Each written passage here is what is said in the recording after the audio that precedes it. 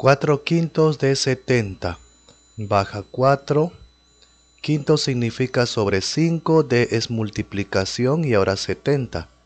Como hay multiplicación, cualquiera de estos de arriba se puede simplificar o dividir con el que está debajo.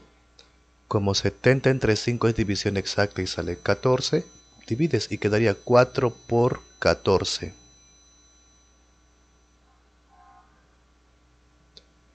Multiplicas 4 por 14 y sale 56.